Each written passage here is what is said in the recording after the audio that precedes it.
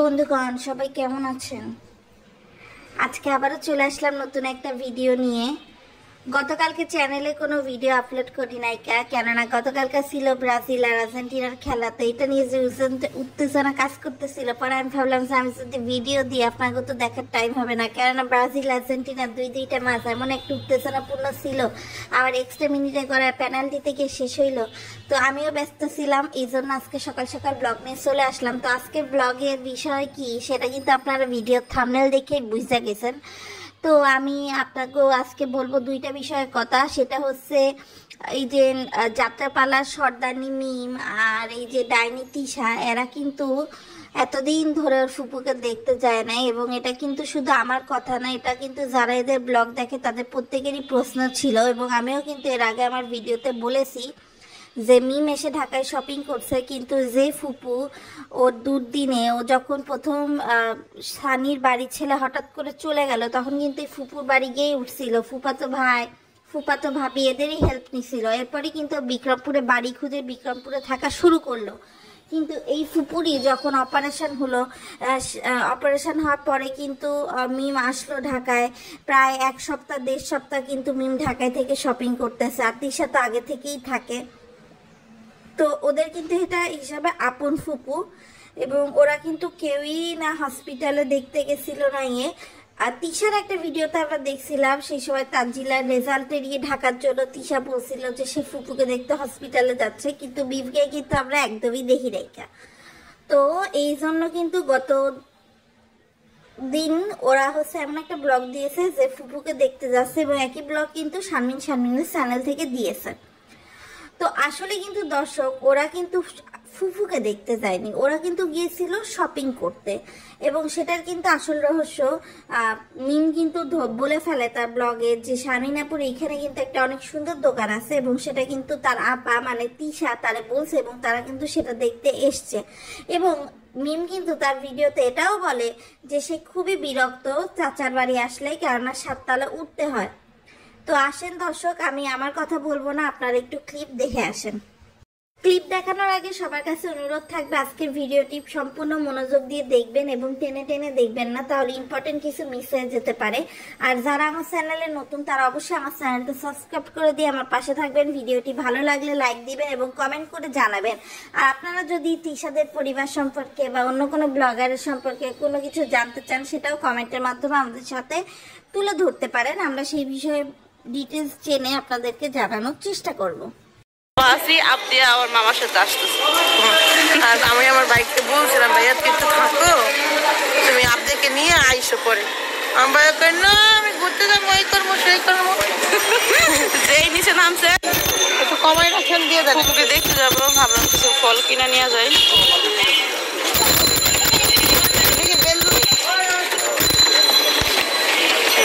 পেয়ারা। আপনি যেগুলো কিনছেন না ওইগুলো ভালো বেশি। তো দর্শক আপনারা দেখতে পেলেন তিশার মিম কিন্তু খুব ভাবসাব নিয়ে ফুপুকে দেখতে যাবে বলে তারা ফল টল কিনলো যেটা হচ্ছে আসলে আমাকে জন্য তাদের আয়বাস কিন্তু তারা আসলে কি জন্য গেছিল সেটাও দেখে নেন। আপুর বাসার সামনে সামনে রেখে চাচা চাচা আপুরদের বাসার কাছে হলো ওই যে একটা ইয়ে আছে আপু হলো বলো আসছিল ওই জায়গায়। তো বলল যে অনেক সুন্দর সুন্দর থ্রি পিস আছে চলো কালেকশনগুলো দেখে আসে। তো আইসা দেখলাম ভালোই লাগতেছে। মানে এর মধ্যে যে এত সুন্দর কালেকশন আছে বোঝা যাবে কিন্তু না আপা? ছোট্ট একটা দোকানের মধ্যে। কি মানে না কি যেন আমার চোখে পড়ছিল। এই গলিটা এইটা।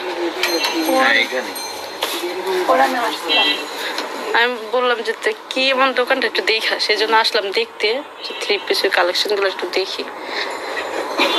কতগুলো থ্রি পিস কিনে ফেলছি আমি। ও মা এটা এরকম করছে ওই যে ভাইয়া ওইখান থেকে ছুটে গেছে এটা ছুটে গেছে এটা ঠিক করে গেছে। এটা ঠিক করব সবই ঠিক করতেছি। চাচার বাসে আসলে একটা জিনিস অনেক বেশি বিরক্ত লাগে। মানে খারাপ লাগে প্রচুর পরিমাণ খারাপ লাগে সাতটা তালা মুখের কথা না কিন্তু। তো দেখতেই পাচ্ছেন বন্ধুরা যে মিম কিন্তু খুব বিরক্ত প্রকাশ করল গেট দিয়ে ঢুকতে ঢুকতে। আমার কথা তোরা যদি তোদের ফুপুকেই দেখতে আসবি, তাহলে তো তোদের আগে থ্রি পিসের শোরুমে ঢোকার দরকার নেই। আর থ্রি পিসের শোরুমে ঢুকে তুই বলছিস অনেকগুলো থ্রি পিস তুই কিনে ফেলছিস, তাহলে তুই তো সেটা পরেও দেখতে পারতি, তাই না? আর সাতটা তালা হলেও তোর ফুপুক অসুস্থ, তুই দেখতে যাবি এখন যদি সাততলার উপর শপিং সেন্টার হতো, তুই কি যাইতি না পায়ে হেঁটে ধর শপিং সেন্টারে কারেন্ট চলে গেছে লিফটায় তুই কিন্তু ঠিকই যাইতি। এটা বোঝা যায় যে তোরা ফ্যামিলিটা কত বড় সেলফিশ তো দর্শক, এখন হচ্ছে আমরা আরেকটা বিষয়ে কথা বলব। সেটা হচ্ছে আমাগো বাপ্পি ভাই কিন্তু আমাগো মিম আপাকে হ্যারে কিন্তু বলছে ফ্যাশন ডিজাইনার পড়ার জন্য। আর আমাদের মিম আপা কিন্তু এতদিন পরে সে স্বীকার করছে যে সে পড়াশোনা কম পারে, কম জানে এবং পড়াশোনা করা উচিত ছিল। এবং আমাগো বাপ্পি ভাইয়া কিন্তু কুইন তিশারে কইছে যে তিশারে এখন তিশার এখন বয়স হয়েছে শুধুমাত্র খাওয়ার। তো সব কিছু এখন আপনাকে আমি দেখায় আসব। তো ভিডিওটা দেখতে থাকেন। আর অবশ্যই কিন্তু কেউ টানবেন না তাহলে কিন্তু ইম্পর্টেন্ট ভিডিও ক্লিপ মিস হয়ে যেতে পারে। ওই যে কোনায় চাপায় রাখো। তাই নি? তোমার আপার এখন বয়স হয়েছে খাওয়ার বয়স। একটাও মনে করেন আমি যে মনে করেন হাতে দিয়া সুন্দর দেখলাম না তার হাতের অবস্থা দেখছেন। ওই মনে নাই হাতে ব্যায়াম করো শোনো আমি তোমার একটা কথা কই তুমি যেখানে ঘর উঠাইছো না তুমি- যেখানে গেছো তুমি এমনি ডিসকালার হয়ে যাইবা। তোমাকে সুন্দর নাই মাইয়া সব সুন্দর কত সুন্দর তোমার। সুন্দর তো এই যে দেখতেই পারলেন কিন্তু যে টিশার্ট যে এখন খালি টিশার্ট যে খায় এই বিষয়টা কিন্তু আসলে বাপ্পিরও ভালো লাগে না। কিন্তু এখন তো গলায় বাইনটা ফেলছে। এখন নাই কলসি নিয়ে ডুবতে পারছে না ভাসতে পারছে। তো এই জন্য এটা নিয়েই কিন্তু আসলে সার্ভাইভ করতেছে। আর এখানে কিন্তু বাপ্পির একটা নিজের মধ্যে অহংকার সৃষ্টি হয়ে গেছে, নিজে বাড়ি বানাইছে যেহেতু। এই জন্য সে কিন্তু সুযোগ বুঝে মিমকে অপমান করে দিল। সেটা কিন্তু আপনারা দেখলেন যে যে জায়গায় ঘর উঠেছো ওই জায়গায় হচ্ছে ডিসকালার হয়ে যাবা। তো মিম যে পড়াশোনা ফ্যাশন ডিজাইন নিয়ে কথা বলতেছিল এবং তিশার যে কোনো ফ্যাশন সেন্স নাই, সেই সব বিষয়ে যে আলোচনা, সেটা আপনাদের এখন আমি শুনিয়ে আসছি। এটা সুন্দর। মানে যে কোনো জামার সাথে পরা যাব হ্যাঁ? ভালো দিচ্ছে এরকম মনে হয় দরকার। দুটো না?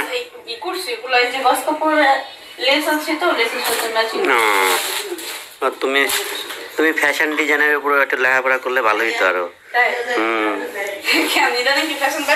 না না ওইটার লেগে না। মানে তোমার মধ্যে চিন্তা করি যে আমার আগে ফ্যাশন কত ছিল না ওটার লেগে না। তোমার মধ্যে ক্রিয়েটিভিটি কিছু ভাব আছে। মনে করো আছে না? কমতি পড়ালেখা কমতি নাই এগুলো ইয়ে করাও যায়। উচিত ছিল পড়ালেখা করা।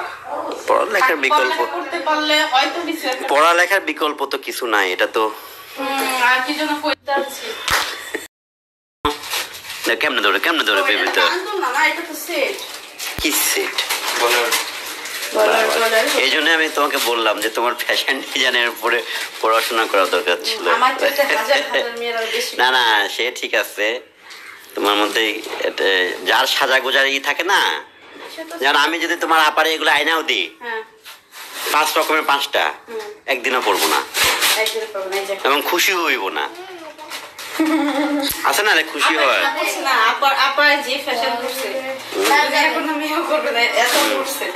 নিজের মন মতো করে অনেক সারে পানি দাও এক গ্লাস পানি খাক। এটা? একবার চিন্তা করেন এতে ছেলে মেয়েদের কি হবে?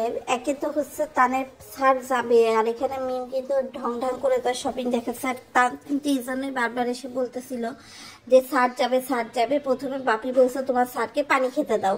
তখন তান বলছে, স্যার অনেক পানি খেয়েছে তখন বলছে, ঠিক আছে তাহলে আসতে পারল আর একইভাবে আপনারা যারা তিশা ব্লগ দেখেন, তারা দেখতে পারবেন, এখন এই যে তানের পরীক্ষা চলছে, এর মধ্যে কিন্তু তিশা বাসায় ইউটিউবারদের নিয়ে পার্টি করা শুরু করে দিছে যাতে সাবস্ক্রাইব ভালো পায় যাতে শো অফ করতে পারে, এরকম যাতে ভালো করতে পারে, এই জন্য কিন্তু তার সো বান্ধবীরা, যারা এতকাল কইছিল জানি না, কেননা তান তো এতদিন ধরে স্কুলে আমরা দেখছি তানকে একা যেতে বা হয়তো বা তানজিলাকে পাঠানো হচ্ছে তানের স্কুলে। কিন্তু এই লাস্ট মোমেন্টে এসে এখন হঠাৎ করে তিশার পুরনো বান্ধবী, পুরনো প্রেম জেগে উঠছে এবং তারা যে কি উশৃঙ্খল, কি যে মানে গার্জিয়ান হিসেবে আমি বুঝি না। মানে তানের বন্ধুরা তানের মতোই হয়তো বা, আর তার চেয়ে বড় কথা তার মারা একদম মানে তিশার মতোই। আপনারা যারা তিশার ব্লগ দেখেন, দেখে আসতে পারেন, ওই বিষয়ে আমি আর বেশি কথা বলব না। তো আপনারা আজকে ব্লগে দেখতেই পারলেন দর্শক যে বাপ্পির কিন্তু তিশা সম্পর্কে কমপ্লেন আছে যে তিশা ফ্যাশন জ্ঞান নাই। আর এই কথায় কিন্তু মিম বলছে যে, না, আপা আছে, আপা একামল অনেক ফ্যাশন করছে। হয়তো বা এমন হতে পারে বাপ্পির সময় ফ্যাশনটা করে নাই কুলফি আলার সময় ফ্যাশনটা করছে। আর এখন সেটাও হিন্স দেয় যে তিশার এখন স্বর্ণ পড়ার সময়। কানেরটা দেই। কানেরটাও তো ওই এই তো। আনকমন জিনিস কিন্তু কান কাইটটা জায়গা কান কত বড় নেমে গেছে দেখছ? কান কত মোটা। কান নেমে দেয়নি। হ্যাঁ কানে তো সুন্দর হয়েছে।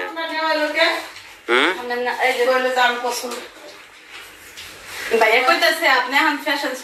না না ফ্যাশন ছাড়া না আমি গলার মালা কিনছে না গলার মালাটা হলো আপার এখন বয়স হচ্ছে গোল্ড পরা দর্শক এটা থেকে আমরা কি বুঝতে পারি? যে টিচার খুব বয়স হয়ে গেছে কিন্তু বাপ্পি দুজনই একেবারে আমাদেরকে ছোট আঙ্গুল দেখিয়ে দিল। আর এবং এটার পরেই কিন্তু বাপ্পি বলে যে তিশার এখন বয়স হয়েছে, খাওয়া। তার মানে বাপ্পিও আমাদের সাথে একমত যে তিশা শুধু ঠুসতে থাকে ঠুসতে থাকে ঠুসতে থাকে। তো আজকের ভিডিওটা আমি এখানেই শেষ করছি। আর সাবিনা যে ভাষণ দিয়েছে নিজেকে বিক্রি করার ব্যাপারে, সেটা নিয়েও খুব শীঘ্রই একটা ভিডিও নিয়ে চলে আসব আপনাদের সামনে। তো আপনারা দেখতে থাকেন আজকের ভিডিওটা কেমন লাগল তা কমেন্টের মাধ্যমে জানাবেন। তো ভিডিওটা শেষ করছি। শেষ করার আগে সবসময় আমাদের চ্যানেলে ধামাকা থাকে, তো ধামাকা দেখার জন্য দেখে তারপরে কিন্তু বিদায় নেবেন। আল্লাহ হাফেজ।